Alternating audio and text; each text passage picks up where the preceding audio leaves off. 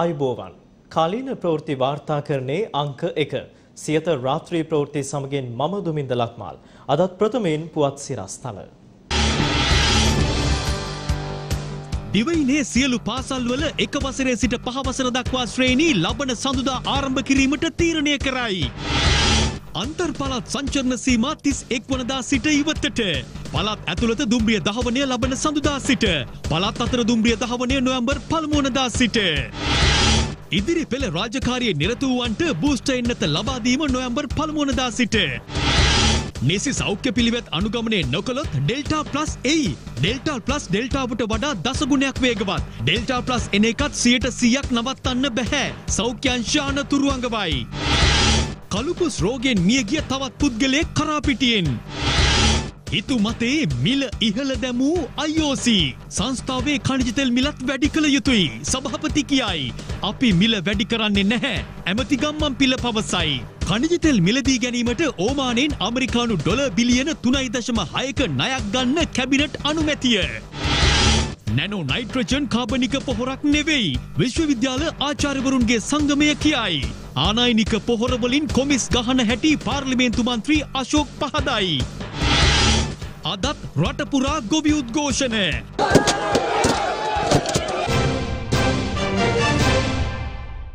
ප්‍රථමයෙන් අවධානය දේශීය පුවත් වෙත.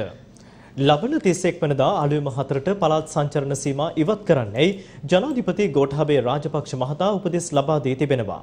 අද රැස් වූ කොවිඩ් මර්ධන කමිටුව තීරණය කර ඇත්තේ ලබන නොවැම්බර් 1 වනදා සිට ඉදිරි පෙළ රාජකාරියේ නිරත සේවකයින්ට තුන්වන මාත්‍රාව ලබා දීමටයි. මේ අතර ලබන 25 වනදා සිට දිවයිනේ සියලු පාසල්වල ප්‍රාථමිකාංශ විවෘත කිරීමට තීරණය කළ බව අධ්‍යාපන අමාත්‍යාංශයේ ලේකම් මහාචාර්ය කපිල පෙරේරා මහතා පවසනවා.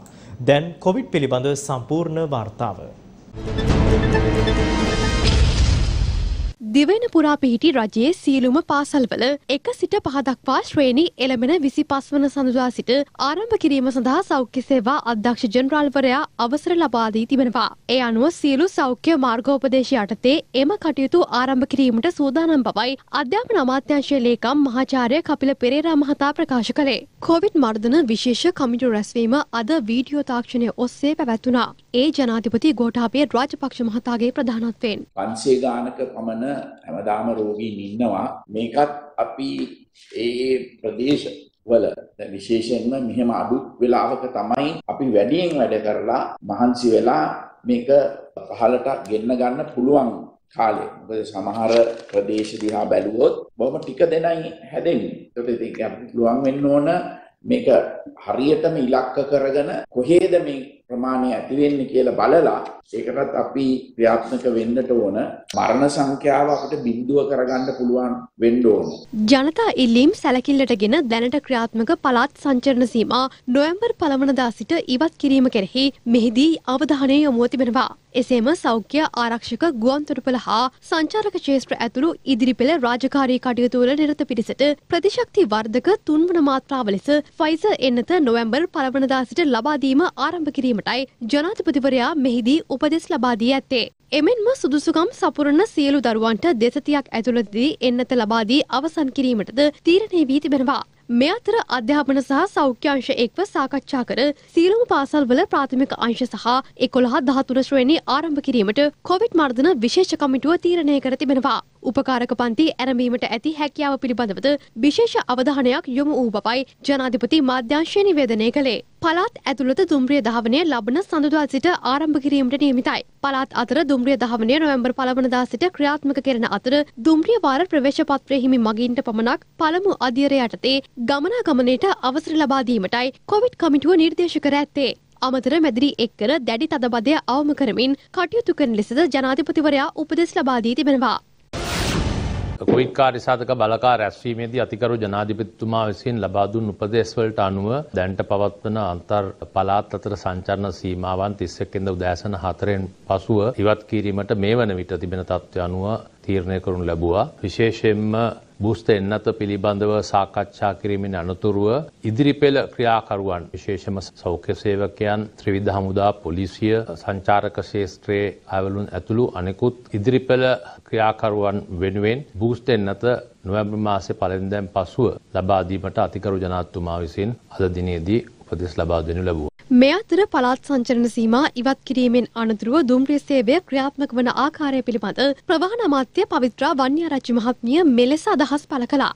අද දින පැවති කොවිඩ් කමිටුවේදී තීන්දු කරනු ලැබුවා විසි පස්වන සඳුදා සිට බස්නාහිර පලාත තුළ දුම්රිය ගමන් ආරම්භ කරන්නට. එම දුම්රිය ගමන් කිරීමේ අවස්ථාව හිමිවන්නේ දුම්රිය වාර ප්‍රවේශ පත්‍ර තිබෙන අය සඳහා පමණයි. ඒ වගේම අපි බලාපොරොත්තු වෙනවා මේ කාලය තුල අපි සලකා බලමින් සිටිනවා දුම්රිය ගමන් වාර ප්‍රමාණය වැඩි කිරීම සඳහාත් ලබන නොවැම්බර් පළවෙනිදා සිට අන්තර් පළාත් දුම්රිය ගමන් කිරීම සඳහාත් අපි අවසර දෙනු ලබනවා. ඒ වගේම නොවැම්බර් පළවෙනිදා සිට අන්තර් පළාත් දුම්රිය ධාවනයත් අපි ආරම්භ කිරීම සඳහා කටයුතු කරනවා.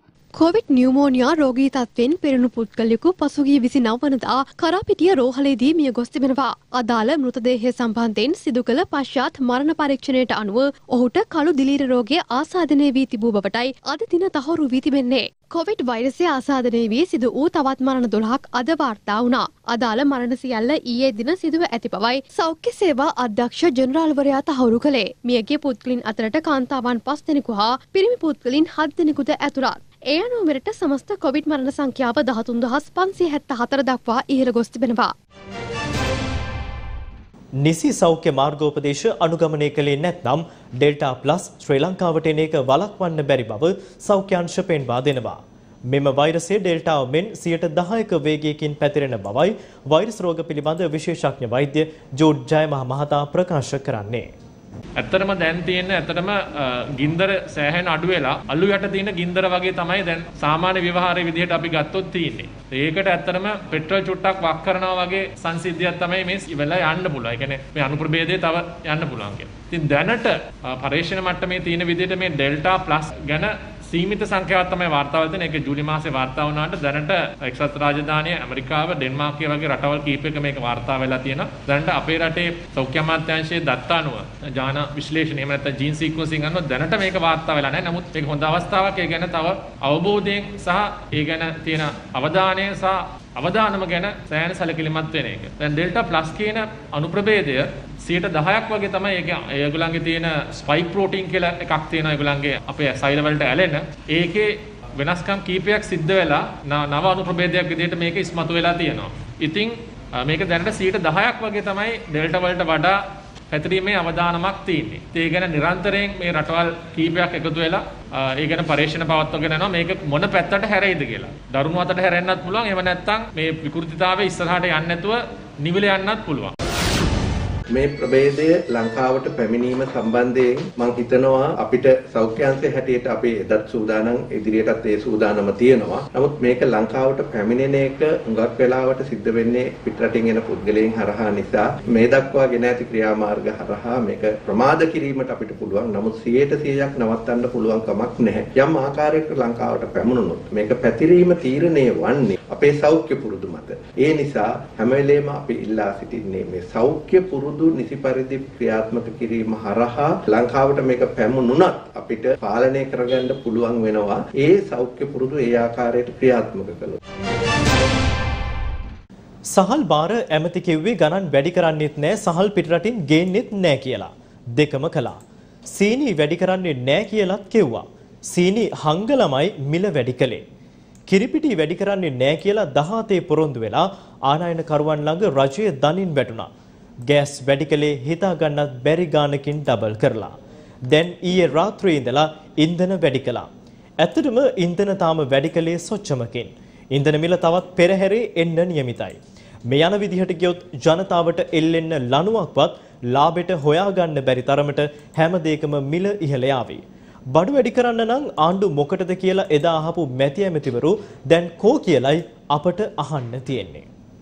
පසුගිය දිනවල හිඟය පෝලිම් සහ මිල වැඩිවීම සරල සමීකරණයක් බවට පත් වුණා. ඒ සමීකරණයේම කොටසක් වුණේ හංගල තිබුණු භාණ්ඩ අල්ලලා සීල් කරපු එක සහ අන්තිමේදී සහල් මෝල් හිමියන් ළඟ ඇමති ඇතුළු සියලු දෙනා දනින් වැටීමයි. සහල් සීනි පාම් පිටි ගෑස් කිරිපිටි ඇතුළු අත්‍යවශ්‍ය සියලු භාණ්ඩ මිල දැන් අහස උසට ගිහින් අවසන්. සෑම භාණ්ඩයකම මිල නැවත ඉහළ යාමේ පදනම රඳා පවතින්නේ ඉන්ධන මත. ඉන්ධන රුපියලකින් ඉහළ දැම්මත් මගී ප්‍රවාහනයේ ඉඳලා හැම දෙයක්ම ඉහළ යනවා. රුපියල් එකසිය පනස් හතට තිබුණු ඔක්ටේන් අනු දෙක පෙට්‍රල් ලීටරයක්. IOC සමගම ඊයේ රාත්‍රියේ රුපියල් එකසිය හැට දෙකක් දක්වා ඉහළ දැම්මා. රුපියල් එකසිය එකොළහට තිබුණු ඩීසල් ලීටරයක්. IOC නවමිල අනුව රුපියල් එකසිය දහසයක් වනවා.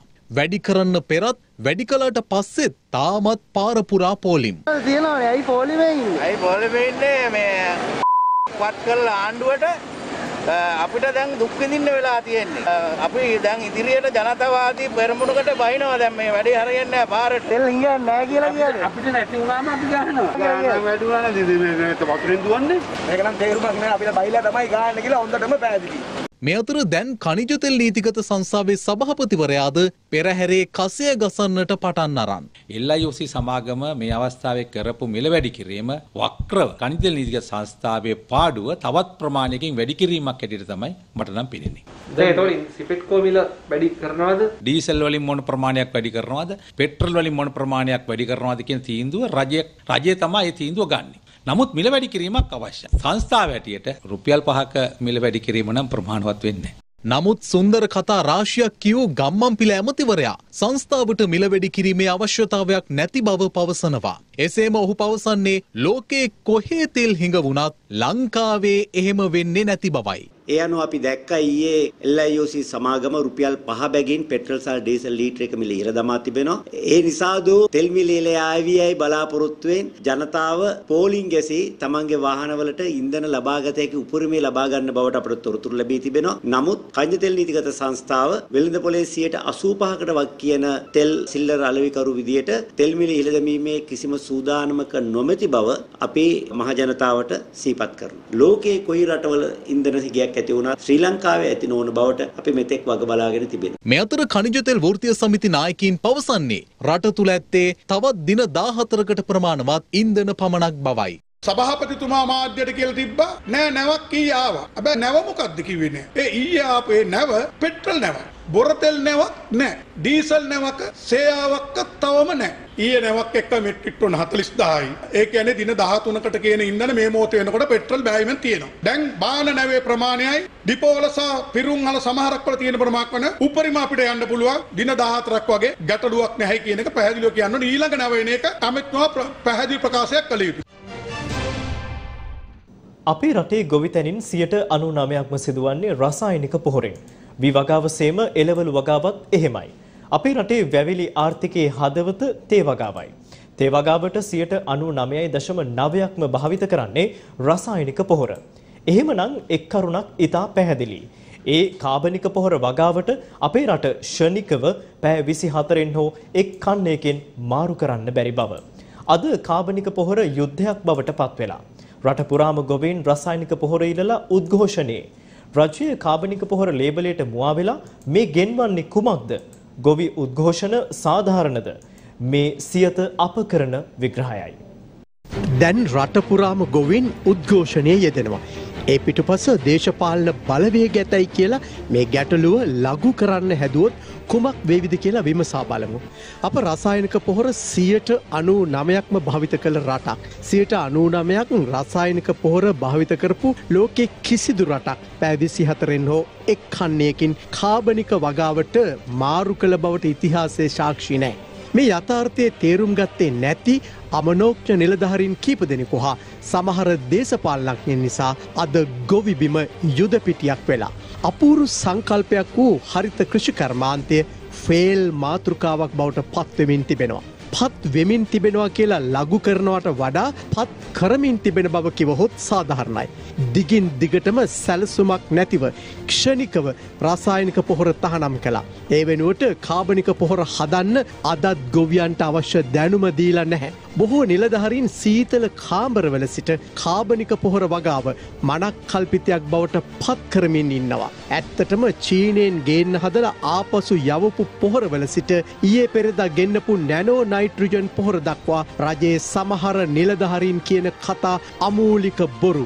නැනෝ නයිට්‍රජන් කියන්නේ කාබනික පොහොරක් නෙවෙයි. හරියට පසුගේ දවසල ගෙනල්ල බෙදපු පොටෑසියම් කලෝරයිට් කියන කාබනික පොහොර වගේ. නැනෝ නයිට්‍රජන් පොහොර කිසිසේත්ම කාබනික පොහොරක් නොවන බව. විශ්වවිද්‍යාල ආචාර්වරුන්ගේ සංගමය විශේෂ ප්‍රවෘත්ති නිවේදනයක් මගින් සඳහන් කර තිබෙනවා. අද ඒ පිළිබඳව සියතට විශේෂ ප්‍රකාශයක් කළ පේරාදනිය විශ්වවිද්‍යාලයේ ජේෂ්ඨ කතිකාචාරය ආචාර්ය වර්ෂෂමිලා දන්දනිය. ලංකාවේ වගා කරන බෝග සියල්ලගේම නයිට්‍රජන් අවශ්‍යතාවය සම්පූර්ණ කරන්න සාර්ථක විසඳුමක් නෙමෙයි. මේ නැනෝ නයිට්‍රජන් කියන පොහොර මගින් අපිට සම්පූර්ණයෙන්ම ශාකවල නයිට්‍රජන් අවශ්‍යතාවය සම්පූර්ණ කරන්නට යෑම ඇත්තටම සිහිනයක් වගේම මුදල් හානියක් විදිහටයි මම දකින්නේ. හුදෙක්ම දෙමුහුන් කෘෂිකර්මාන්තයක් තුළ යායුතු ගමනක් ඒක පාර්ශවය කිරීම හරහා අනාගතයේ බරපතල ආහාර අර්බුදයකට රට ගමන් කරනු ඇතැයි ශ්‍රී ජයවර්ධනපුර විශ්වවිද්‍යාලයේ රසායන විද්‍යාව පිළිබඳ මහාචාරය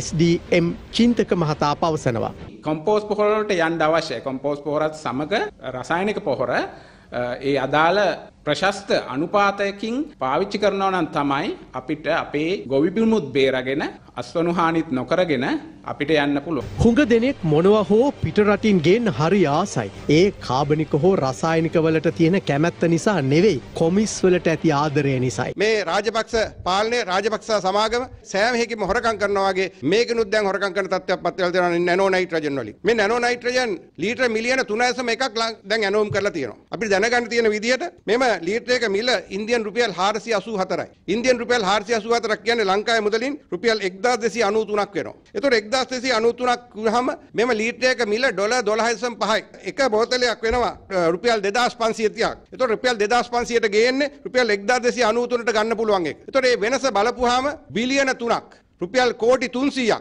කෝටි 300ක් මේ අසරණ ගොවියන්ගේ මේ දියර නයිට්‍රජන් පොහොර වලින් මේ ගසා කනවා. මේ අතර මෙතෙක් ගොවි බිමට සීම වූ උද්ඝෝෂණ සටන අද පාර්ලිමේන්තුව ඇතුළටත් ආවා. සමගි ජනබලවේගේ මන්ත්‍රීවරු පාර්ලිමේන්තු සභාගර්භය තුළ උද්ඝෝෂණයක නිරත වුණා.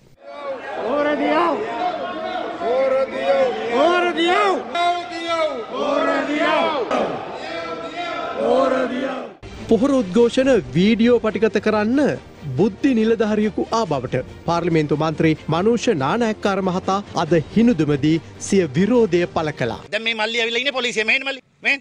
මෙහෙන් කොට මෙහෙන් මල්ලි. මේ ඇවිල්ලා තියෙන පොලිසිය බුද්ධි අංශේ මල්ලි කෙනෙක්. ඔය කැමරාවල්ල මේ ඇවිල්ලා තියෙන වීඩියෝ කරන්න. ඔය බැරි සර් මේවා වීඩියෝ කරලා අරගෙන ගිහිල්ලා පෙන්නන්න. පෙන්නලා බම්බු ගහන්නද? පොහොරඉල්ලා මැදවච්චය ගොවි ජනතාව අද උද්ඝෝෂණයක නිර්ත වුණා. අනතුර ඔවුන් පාගමනින් මැදවච්චය ගොවි ජනසේවා කාර්යාලිට ගිය අතර එහිදී උණුසුම් තත්ත්වයක් හටගත්තා. ඉතින් නයිට්‍රජන් පොහොර ටික තාම නැහැ. රතු කුඩු මොනව කරන්නද? හැමදාම කුඩම් වගේ සැලකිලි. කියන්න බෑ මම හිතන්නේ මැදවච්චේ කවදාවත් එහෙම කියන්න බැරි නම් දැන් නයිට්‍රජන් තියෙන්න බයි. දැන් දවස් 28ක් වෙච්ච ගොයමට දැන් කොහොම නයිට්‍රජන්?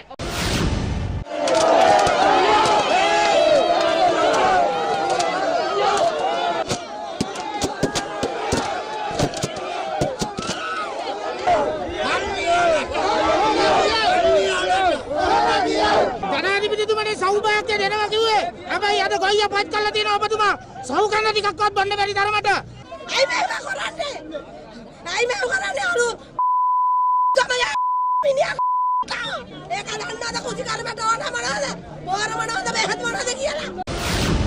අයි මේ යථාර්ථයට පිටුපාලා මේ ගොවි ජනතාව රවටන්න ලෑස්ති වෙන්නේ. කරුණා කරලා මේක නවත්තන්න ඕනේ.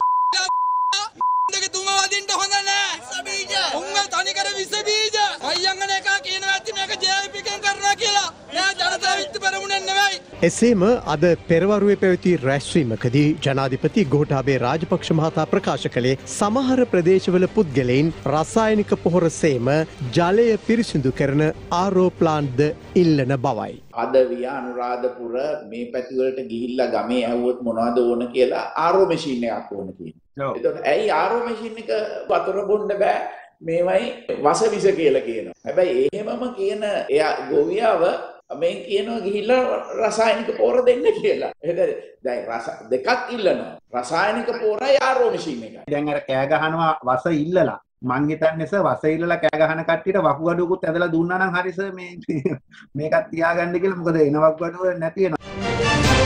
ඊයේ සහ අද දවස තුල ක්‍රියාත්මක ගුරු විදුහල්පති වෘත්තීය ක්‍රියාමාර්ගයේ සාර්ථක බව ලංකා ගුරු සේවා සංගමේ ප්‍රධාන ලේකම් මහින්ද ජයසිංහ මහතා පවසනවා. එසේම ලබන සඳුදා පාසල් වලට පැමිණෙන අතර ඉගෙනුම් ක්‍රියාවලියේ පමණක් යෙදෙන බවයි ඔවුන් අවධාරණය කරන්නේ.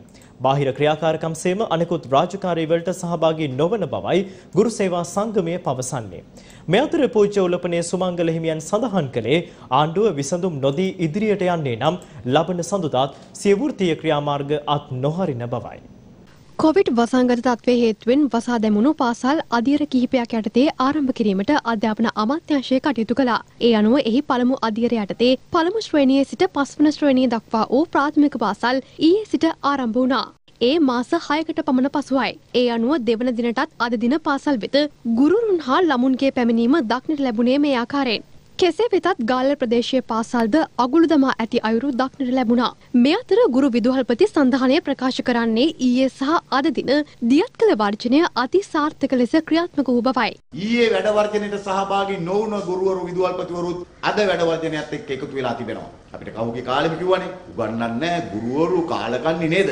පඩි ගන්නවා නිකන්. ඔන්න දැන් අපි තීරණය කරලා තිබෙනවා 25 පාසල් ඇවිල්ලා උගන්වන්න. 25 හවස දෙකට රට පුරා ස්ථාන 10000 ගණනක එදාට ඉස්කෝලේ යන ගුරුවරුත් ඒ වෙනකොටත් ගෙදර ඉන්න ගුරුවරුත් සියලු දෙනා එකතු වෙලා නිරෝධායන නීති වලට යටත්ව අපි උද්ඝෝෂණ වටයක් පවත්වනවා. ඊට පස්සේ අපි දෙමව්පියන් සමග ඒකාබද්ධව උද්ඝෝෂණ වලට යනවා. අපි බාර දෙනවා අපේ ප්‍රශ්නය දෙමව්පියන්ට. ශේෂන් නොවැම්බර් මාසේ 12 වෙනිදා අයවැයට පෙර මේ සම්බන්ධයෙන් පැහැදිලි ප්‍රකාශයක් කරන්න ඕනේ. එතෙක් අපේ ක්‍රියාමාර්ගය පෙරට යනවා. වයඹ පළාත් ආණ්ඩුකාර කියනවා ඉඳගෙන මොකද්ද කියන්නේ? මම ගන්න තීරණේ මම ගන්නවලු. අරම් බලන්න කියලා අපිට කියන්න තියෙන රාජා කොල්ලුරේ නොමිනිස් කාර්යයක්. මිනිහා නොමිනිස් කොමියුනිස්ට් නෙමෙයි. ඒ වගේම අපි දැක්කා. උතුරු මැද ආණ්ඩුකාරයා කියනවා වැඩ වර්ජනය කරපු විදුහල්පතිවරුන්ගේ 25 වෙනිදා පාසල් අහිමි කියලා. බලමු අපි අහිමි කරන ආකාරය. ඔය සමහර ඇමතිවරු පාසල් වලට ගිහලා බෑග් බෙදනවා. නම ගාලා ෆොටෝ ගාලා ලොකුවට මූණ ගාලා දෙන්න ලැජ්ජයි මහත්තයෝ. එමෙන්ම මෙම වැටුප් විෂමතාවයට විසඳුමක් නොති ආණ්ඩුව ඉදිරියට යාමට අපේක්ෂා කරනවා නම් එළඹෙන සඳුදා දිනත් මෙම වෘත්තීය ක්‍රියාමාර්ගය ගෙන යන බව පූජ්‍ය උලපනේ සුමංගල හිමියන් ප්‍රකාශ කළා. පැහැදිලිවම 21 වෙනිදා පාසල් යන්නේ කියලා තීරණය කරන්නේ හඳපාංගොඩ නෝනගේ වෘත්තීය සමිතිය. ඒක රජයේ වෘත්තීය සමිතිය. ඊට 25 වෙනිදා යන්න කියන අයගේ මොකද්ද පදනම? මේ ප්‍රකාශ කරන්නේ තමන්ගේ දේශපාලන පක්ෂවල තීන්දුව තීරණය. මේකෙන් පරදින්නේ මම විතරක් නෙවෙයි සමස්ත ගුරුවරයා සමස්ත විදුහල්පතිවරයාමයි. ආණ්ඩුව දැන් තවමත් මේකට විසඳුමක් නොදී ඉදිරියට යන්නට බලාපොරොත්තු වෙනවා නම් අපි සඳුදා දවසේත් මේ ආකාරයෙන්ම මේ වැඩ වර්ජනය ක්‍රියාත්මක කරනවා. අපි කියනවා නියත වශයෙන් පුළුවන්කමක් ලැබෙන්නේ නැහැ මේ අරගලය මේ විදියට පාවලා දීලා නැවත රාජකාරියට වාර්තා කළොත්. ජනතාව වෙනුවෙන් ඉතා තීරණාත්මක දේශපාලන තීන්දුවක් සඳහා තමා ඇතුළු කණ්ඩායම පෙනී සිටීමට සූදානම් බව අමාත්‍ය විමල් වීරවංශ මහතා පවසනවා. ඒ තෙවන මග මාසික සංග්‍රාව ජනගත කිරීමේ වැඩසටහනට එක්වෙමින්. ජාතික නිදහස් පෙරමුණේ නිදහස් නියමුව ප්‍රකාශයක් ලෙස තෙවැනි මග මාසික සංග්‍රාව ජනගත කිරීම ඊයේ සිදු කරනා. ඒ අමාත්‍ය විමල් වීරවංශ මහතාගේ ප්‍රධානත්වයෙන්. ලිබියාවේ මුවම්මර් ගඩාෆි කොච්චර රටට සේවය කළත් දීර්ඝ කාලයක් ඔහු ඇතුළු ඔහුගේ පවුල බලයේ සිටීම දරාගත නොහැකි වූ ලිබියානු සමාජයේ තිබිච්ච පීඩනයක් පාවිච්චි කරලා ඇමරිකානු එක්සත් ජනපදයට පුළුවන් වුණා ඒ නූතන ලිබියාව නිර්මාණය කළ මුවම්මර් ගඩාෆිව පාරේ මැරේට අත්වෙන ඉරණමට හා සමාන ඉරණමකට ලක් වෙන විදිහට මරණ දානවා. ඒ විතරක් නෙවෙයි ඉරාකය වගේ රටක් සම්බන්ධයෙන් ගත්තත් නුසුදුසු උත්තර හොයාගත්තොත් ඉන්න තත්වයටත් වඩා නරක තත්වයකට වැටෙන්න තියෙන හැකියාව වැඩි. අපිට වගකීමක් තියෙනවා අපේ සමාජයේ උත්තර හොයන වෙලාවක් මේ. අපේ සමාජයේ උත්තරයක් ඉල්ලන වෙලාවක් මේ. අපේ සමාජයේ සපයාගත්තු උත්තර වෙන ප්‍රශ්න කරන වෙලාවක් මේ. අපේ සමාජය තමන් විසින්ම විශ්වාස කරපු උත්තර උත්තරයක් වෙලා නැහැ නේද කියලා හිතන වෙලාවක් මේ. සැබෑ උත්තරයක් වෙලා නැහැ නේද කියලා හිතන වෙලාවක් මේ. ඒ සැබෑ උත්තරයක් නෙවෙයි කියලා හිතන වෙලාවක ඊට වඩා වැරදි උත්තරයක් තමන්ගේ තෝරා ගැනීම බවට පත් වෙන්න ඉඩ තියෙනවා. මේ වගේ වෙලාවල ලෝක ගොඩක් රටවල් වල එහෙම වෙලා තියෙනවා. ඒ නිසා තමයි අපිට තියෙනවා සාමූහික වගකීමක්. ලැබුණු උත්තරේ ගැන සෑහීමකට පත් නොවන ජන සමාජයක් ඔවුන් සෑහීමකට පත් වෙන ආකාරයේ උත්තරයක් කරා රැගෙන යාමේ වගකීම අද අපේ දිවුර මත පැටවෙලා තියෙනවා. සමහරලාට පාලකයන් විසින් ගනු ලබන වැරදි අනුවන තීරණ විසින් නිර්මාණය කරගන්න අභියෝගත් අපි ඉස්සරහට මුහුණ දෙන්න වෙලා තියෙනවා. අපි මෙතෙක් දේශපාලනයේ ඉටු කරන ලද කාර්යභාරයේ තීරණාත්මක පිළිතුරු සැපයීම කරා දැන් අපි මුහුණ දෙමින් සිටිනවා. අපි මේ රටේ ජාතික බලවේග, වාමාංශික බලවේග, Taman සතු වර්ධ සාක්ෂිය පැත්තකට තියලා දේශපාලනය කරන බලවේගයක් නෙවෙයි. තීරණාත්මක අවස්ථාවේදී Tamanගේ හෘද සාක්ෂියත් එක්ක හිට ගන්න බලවේගයක්. හෘද සාක්ෂියත් එක්ක ගනුදෙනු නැති ඩොලර් මිටි එක්ක ගනුදෙනු තියන අයට මේවා තේරෙන්නේ නැති වුණාට හෘද සාක්ෂියත් එක්ක ගනුදෙනු තියෙන මේ රටේ ජාතිකවාදී බලවේග, වාමවාදී බලවේගවලට ඒ කාරණේ හොඳ හැටි තේරෙනවා. පාස්කු ප්‍රහාරය සම්බන්ධව නිදහස් පරීක්ෂණයක් අවශ්‍ය බව කොළඹ අගරදගුරු කාදිනල් මැල්කම් රංජිත් හිමිපාණන් අවධාරණය කරනවා. ඒ කටුවපිටිය දේවස්ථානයේ පැවති දේව මෙහෙයකදී. මේ ප්‍රහාරය පිටුපස්සේ සිටියේ කවුද කියන එක ඉතාමත්ම විනිවිද පෙනෙන ස්වරූපයෙන් සොයා බැලිය යුතුයි. විනිවිද පෙනෙන පක්ෂග්‍රාහී නොවන තරාතිරම නොබලා යම් යම් උදවිය පිළිබඳව කරුණු සොයා බලන නිදහස් පරීක්ෂණයක් සිදු බවයි. සිදුවන පරීක්ෂණයක් දේශපාලන බලවේගවලට අවශ්‍ය විදියට මෙහෙයවමින් සිදුවෙන්නේ. නැවත නැවතත් මම ප්‍රකාශ කරනවා. අපිට අපිව තල්ලු කරන්න එපා. වෙනස් ක්‍රියාමාර්ගවලට යන්න. සාධාරණයේ ඉටුවන තුරු අපි මේ අරගලේ අතාරින්නේ නැහැ. මේක නැති කරන්න බෑ කිසිම බලවේගයකට. Taman වැරදිකාරයෝ නෙවෙයි නම්. Taman මේ කුමන්ත්‍රණය පිටිපස්සේ නැත්තම් මේ කුමන්ත්‍රණය පිළිබඳව පරීක්ෂණ කරන්න ඉඩ දෙන්නට ඕනේ. බය වෙන්නේ මොනවද? Taman වැරදිකාරයෝ නෙවෙයි නම් බය වෙන්න ඕනේ නැහැ. නමුත් දැන් ගෙනියන ව්‍යාපාරය තුළ බයගුල්ලෝ වගේ අත හොදගෙන ස්වච්ඡමක තෑග්ගක් දීලා සද්ද නොකර අපේ කටහඬ නැති කරන්නටයි ඒගොල්ලෝ උත්සාහ. කවදාවත් යට වෙන්නේ ආණ්ඩුවට රජයේ විශ්‍රාම වැටුප් විෂමතා සම්බන්ධව නින්ද ගොස් ඇති බව විපක්ෂ නායක සජිත් ප්‍රේමදාස මහතා අද පාර්ලිමේන්තුවේදී පැවසුවා. ඊට පිළිතුරු ලෙස සභා නායකවරයා පැවසුවේ විශ්‍රාම ගිය සියලු දෙනාට අග්‍රහාර රක්ෂණය ලබා දුන්නේ වත්මන් රජය බවයි. වත්මන් ආණ්ඩුව ලක්ෂ 14ක් 15ක් පමණ වන රාජ්‍ය සේවකින්ගේ හා රජයේ විශ්‍රාමිකින්ගේ වැටුප් විශ්මතා විසඳීම සම්බන්ධයෙන් පූර්ණ නිර්වින්දනයක පසු වෙන. වියත් සංවර්ධනය නැහැ දැන් තියෙන්නේ විපත් සංවර්ධනය. ඔබතුමාලා අග්‍රාර විශ්‍රාමය දුන්නේ ඔබතුමාලාගේ ආණ්ඩු කාලයේ විශ්‍රාම ගියාට පමණයි. අපේ රජය ඒක යලි නිවැරදි කරලා සියලු විශ්‍රාමිකයන්ට දුන්නා ඒක. හරි කෑගන්න. හරි අග්‍රාරේ. ලැජ්ජ නැහැ. talking nonsense. සභානායකතුමා සභාව නොමග යවනවා. විශ්‍රාමිකයින් කැපුවේ මේ ආණ්ඩුවේ. ගරු කතානායකතුමනි සභානායකතුමා ඇත්තටම මේ සභාව නොමග යවනවා. විශ්‍රාමයට ජනවාරි මාසේ ඉඳන් ගිය ගිය අවුරුදු ගෙවන්න තිබ්බේවා නවත්තලා තියෙනවා. අපි තමයි ගිය වාර වඩිය දෙගුණයක් කරේ 116.5කින් වැඩි කරා. පෙන්ෂන් එක 2800කින්. මේ යන්නේ කොහෙද මල්ලේ පොල් කතාව මේ කියන්නේ. නිව් ෆෝට්‍රස් එනර්ජි සමාගම සමග ගිවිසුමක් හෝ ගිවිසුම් කීපයක් අත්සන් කරනු ලැබ තිබේද? මොකද අපි ගාව තියෙන අර කැබිනට් මණ්ඩලය ඉදිරිපත් කළ කාලරාමු ගිවිසුම විතරයි. 21 නමේ 15 වෙනිදා අමාත්‍ය මණ්ඩල අනුමත ප්‍රදාන කර ගනිමින් සා නීතිපති නිෂ්කාශනය ලබාගෙන මේ පාර්ශ්වයට අදාළ දේපල 140 කොටස් ප්‍රමාණයක් ඇල්මගන් ඩොලර් මිලියන 250කට විකිණීමට එකඟ වීම මේ ගිවිසුම 21 නමේ දාත් අත්සන් කර තිබේ. මේ ගිවිසුම සභාගත කිරීම නීති නිෂ්කාශන ලබා ගැනීම පියවර ගෙන තිබේ. නීතිපතිවරයාගෙන් අනුමැතිය ගත්ත තව නිෂ්කාසන මට තේරුන්නේ නැහැ වචනක් කිව්ව ඔබතුමා. ඒතර කොහොම වුණත් දැන් අත්සන් කරපු ගිවිසුම ඉදිරිපත් කරන්න පුළුවන්. මා දන්නා පරිදි අත්සන් කරලා තියෙනවා දැන් කැබිනට් මණ්ඩලයට ඉදිරිපත් කරලා නැහැ තාම. ඒක අත්සන් කරපු ගිවිසුම් ටික පාර්ලිමේන්තුවට ඉදිරිපත් කරන්න. මම නම් දැකලා තියෙනවා කැබිනට් මණ්ඩලයට අපි දකින්න නැත්නම් ගල්ලංගුරු බලාගාරයෙන් තමයි ලංකාවේ විදුලි අවශ්‍යතාවයෙන් 49.2යි දශම දෙකක් නිපදවුවේ. ගල්ලංගුරු තියෙන්නේ දෙසැම්බර් මාසය දක්වා විතරයි. ඒ කාලය ඇතුළත මේ ගල්ලංගුරු ප්‍රශ්නය විසඳාගත්තේ නැත්නම් මේ රජයේ ඩොලර් ප්‍රශ්නය විසඳාගත්තේ නැත්නම් මේ රටේ පැය 12ක් විදුලිය කැපීම නවත්තන්න නම් බෑ ගරු ඇමතිතුමනි. කන්තේ නීතිගත සංස්ථාව යටතේ අපි බිලියන 67ක කෝටි 6700ක තෙල් මිල අඩු කරලා සහනයක් දුන්නා. පුළුවන් නම් බිලියන 68ක සහනයක් දීලා අපිව පරාජය කරන්න.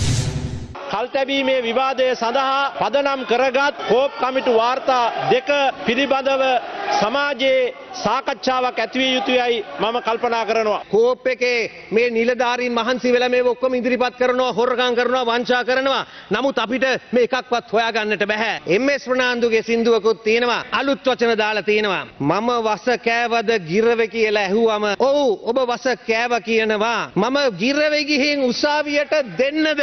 අනේ අනේ එපා කියනවා. අනේ වැඩ කෙරුවත් ලොකු පුටුවේ ඉඳලා හිත පිරෙන්න රස අල්ලස් ගිලලා පිටරට යනවලු ලැබුණොත් පෙරලා ඔබ යනවද මටත් එහෙම කරලා මගේ ගිරවි එහෙම නෑ වැඩ බැරිවත් දාලා යන්නේ නැහැ. මෙතන ඇවිල්ලා සින්දු කියන ඉරාන් වික්‍රමරත්න මන්ත්‍රීතුමා කෝප් කමිටුවක තිබිච්ච ගෞරවය කෙලෙසුනේ ඔවුන්ගේ ආණ්ඩුව කාලේ මහ බැංකු බැඳුම් කර වංචාව සම්බන්ධයෙන් කරපු විමර්ශනවලදී සිදුවෙච්ච අක්‍රමිකතා හින්දා නොවේද කියන එකයි මං අහන්නේ. මේ කෝප් කමිටුව දාලා තියෙන්නේ පාර්ලිමේන්තුවට තියෙන රාජ්‍ය මූල්‍ය කළමනාකාරය සම්බන්ධව තියෙන අයිතිය නිසියාකාරව පවත්වාගෙන යාම සඳහා. රජයේ විගණකාධිපතිවරයාට ඔඩිට් කරන්න බැරි විදියට වාරණ නියෝග උසාවියට ගිහිල්ලා ගන්න තත්ත්වයට පත් වෙලා තියෙනවා. වර්තමාන ආණ්ඩුව ආවේ වියත් මග මොකද්ද තව තව එක එක ඒවා දාලා මේ වියත්තු ආපු දා ඉඳලා රුපියල මස්ත බාල්දු වෙලා කුල්ල කුජීත වෙලා ගිහිල්ලා අපේ මේ බන්දුල ගුණවර්ධන මැතිතුමාගේ වචනෙන් කියනවනම්. දැන් මේ මොනතරම් විගණන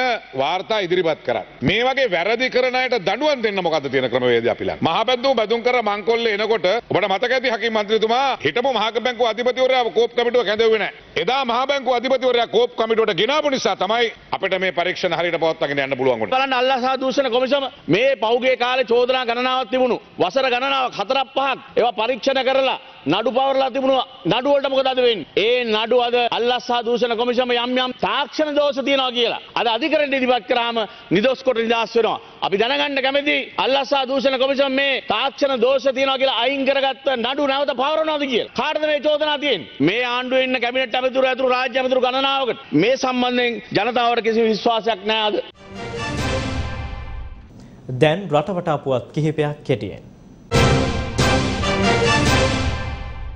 මහ බැංකු අධිපති අජිත් නිවාඩ් කබ්‍රාල් මහතා කටාරහි මහ බැංකු අධිපති ශ්‍රෙයින් අල්තානි මහතාව හමු වී තිබෙනවා. පශ්චාත් කොවිඩ් පුනර්ජීවන පියවරයන් සහ කටාරහි ආර්ථික සමඳතා ශක්තිමත් කිරීම පිළිබඳව හමුවීමේදී සාකච්ඡාවට ලක් වුණා. අජිත් නිවාඩ් කබ්‍රාල් මහතා මේ පිළිබඳව ට්විටර් පණිවිඩයක් නිකුත් කර තිබෙනවා. එහි සඳහන් වන්නේ ආයෝජකයින් හමුවීමට අමතරව කටාරහි ජාතික බැංකුව, දෝහා බැංකුව, කමර්ෂල් බැංකුවල ප්‍රධානීන් හමුවීමට ලැබීම පිළිබඳව තමා සතුටු වන බවයි. මෙම හමුව හරහා ශ්‍රී ලංකාවේ ආර්ථිකයට ශක්තියක් ලබා ගැනීම සම්බන්ධයෙන් වන ඉතා ඵලදායී සාකච්ඡා සිදු වී තිබෙනවා. එමෙන්ම දෙරට අතර අන්‍යෝන්‍ය විශ්වාසය සහ අවබෝධය තර කර ගැනීම සඳහාද මෙම හමුව ඉවහල් වූ බවයි මහ බැංකුව අධිපති අජිත් නිවාඩ් කබ්‍රාල් මහතා පවසන්නේ. බද්දේගම් ප්‍රදේශයේ නිවසකට ඊයේ රාත්‍රියේ අහසින් යම්කිසි ද්‍රව්‍යයක් වැටී ඇති බවට වාර්තා වීමත් සමග පොලිස් විමර්ශන ආරම්භ වුණා. ඊයේ සිට නොවැම්බර් 7 දක්වා ඔරයලිට්ස් උල්කාපාත වර්ෂාවක් පවතින බවත් ඇතැම් විට වැටී ඇත්තේ එහි කොටස් විය හැකි බවත් මහාචාර්ය චන්දන ජයරත්න මහතා පවසනවා. දිස්ත්‍රික්ක දාසයකට ගිගුරුම් සහිත වැසි සමග ප්‍රබල අකුණු ඇතිවීමේ හැකියාවක් පවතින බව කාලගුණ විද්‍යා දෙපාර්තමේන්තුව අනතුරු අඟවනවා. මේ අතර නුවරඑළිය දිස්ත්‍රික්කයට ප්‍රහාරාත්මක අකුණු සැර පතිත වීමේ අවධානමක් ඇති බවයි නුවරඑළිය දිස්ත්‍රික් ආපදා කළමනාකාර ඒකකයේ සහකාර අධ්‍යක්ෂකවරයා අවධාරණය කරන්නේ. එම පුවතත් සමගින් අපගේ රාත්‍රී ප්‍රවෘත්ති විකාශය අවසන්. ඔබට නිරෝගී බව සහ ආරක්ෂාව. දෙනපතා අලුත් වීඩියෝ සහ ප්‍රවෘත්ති නැරඹීමට ඉහත බටන එක ක්ලික් කර සියත TV සබස්ක්‍රයිබ් කරන්න.